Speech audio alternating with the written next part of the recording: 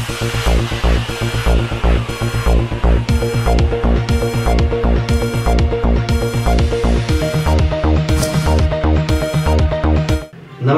ATN TV ન્યૂઝમાં આપનું સ્વાગત છે. હિંમતનગર સાબરકાંઠા મુસ્લિમ સંકલન સમિતિ દ્વારા એનઆરસી અને સીવી બિલને પરત ખેંચવા કલેક્ટરને આવેદનપત્ર આપવામાં આવ્યું.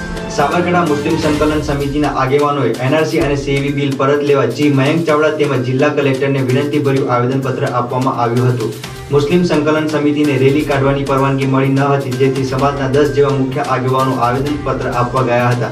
આવેદનમાં જણાવ્યું હતું કે, અમોને મળતા બંધારણ અધિકારોનું હનન થયું બિલ લાવવામાં આવ્યું છે, જે માનવ અધિકારીના અને બંધારણ અધિકારીને ચેલેન્જ કરતું બિલ છે. આ બિલથી અમોને અમારી પેઢી, આવનારી પેઢીને ગંભીર નુકસાન થાય તેમ હોય કોમ વચ્ચે વિભાજન કરનારું ગંગા જમુનાની સંસ્કૃતિને મોટું નુકસાન થાય તેમ હોય, આ બિલને પાછું ખેંચવા સાબરકાંઠા મુસ્લિમ સમાજની લાગણી અને માંગણી કરવામાં આવી છે. Reporter Akbar Duar ATN TV news Himmatnagar.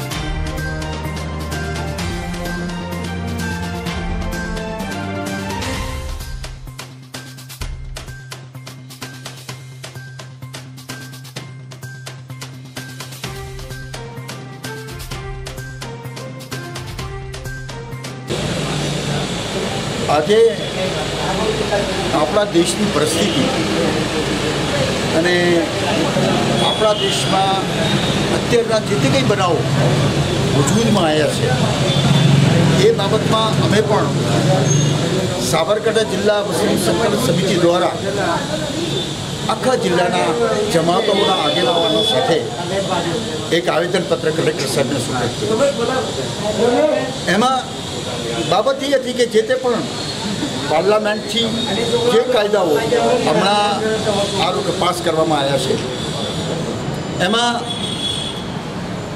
ખાસ કરીને એક બાબત, જ્યાં સુધી કે આ બાબતનું સ્પષ્ટીકરણ નથી થતું ત્યાર સુધી વન સાઇડેડ આખા દેશમાં આ બાબતની અને દરેક બિરાદરો તરફથી, દરેક જાતિઓ તરફથી આ બાબતનો વિરોધ કરવામાં આવી રહેલો છે. એટલા માટે કે આ દેશની ગંગા જમના સંસ્કૃતિ, આ દેશમાં જે રહેલી આની હિન્દુ મુસ્લિમની જે એકતા, એ બાબતમાં આ આ કાયદાથી આપવાના કારણે આની અંદર કેટલાક મતભેદો ઊભા થાય એવી પરિસ્થિતિ આખા દેશમાં સર્જાઈ છે. ખાસ કરીને એક વાત એ કહેવા માગું છું કે આ દેશનું બંધારણ એ સંભાવ બંધારણ બનેલું છે સેક્યુલર છે.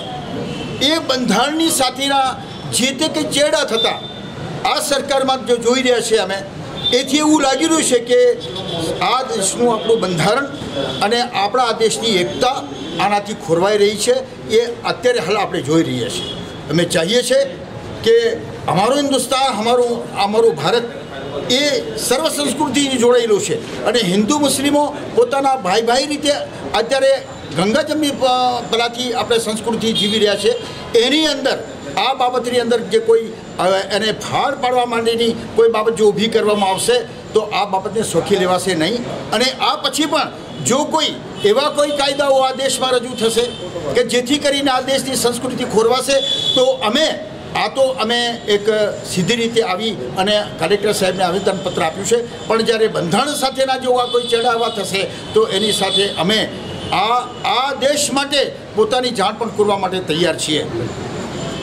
તમારી શું માગણી છે? અને શેનો વિરોધ છે? આપણે આજે કે બિલ આપણે સીએનું જે કે બિલ પાર્લામેન્ટમાં પાસ થયું. બરાબર? વન સાઇડેડ હવે જ્યારે આ પ્રશ્ન પૂછો છો તો મારે કેવું પડશે કે વન સાઇડેડ એક બાબત આમાં કોઈ ક્લિયરિંગ કરાયું જ નથી. અને સીધી એક બાબત બધાના આપણે ગણાવું કે આપણે ત્રણ તલાકના મામલાથી લઈ અને પછી ત્રણસો સિત્તેરના મામલાથી લઈ અને પછી બાબરી મસ્જિદથી લઈ અને પછી આ આ કાયદો જ્યારે દેશમાં અમલીકરણમાં મૂકવામાં આવેલો છે, એનઆરસીનો, તો એ બાબતથી આ સિરીઝ એક એવી બાબત બતાવી રહી છે કે, અને આનાથી એવું પણ અવલોકન કરવામાં આવી રહ્યું છે, અને અમે નહીં, પણ હું એવું માનું છું કે દેશના બુદ્ધિજીવીઓ બાબતને એ બાબતમાં ગુમાન કરી રહ્યા છે કે આથી આ દેશને અને આ દેશના બંધારણને નુકસાન થશે. એટલા માટે અમે આ બાબતમાં આનો સખત વિરોધ કરીએ છીએ અને આને વખોડીને ફેંકી દેવા માટે અમે અનુરોધ કરીએ છીએ. આ કાયદો રદ કરવા માંગો છો કે આમાં સુધારો થાય તો ચાલી રહે? નહીં અમે તો એવું ઈચ્છીએ છીએ કે આ કાયદો રદ થવો જોઈએ.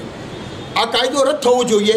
એમાં એના કારણે એટલા એટલા આ દેશના મુસ્લિમો નહીં પણ આ દેશની કેટલીક જાતિઓ, કેટલીક કોમ્યુનિટીઓ આ આના કારણે જે તમે જોયું કે નોટબંધીના કારણે ગરીબોને, બધી જાતિઓને લાઈનમાં ઊભા રહેવું પડ્યું.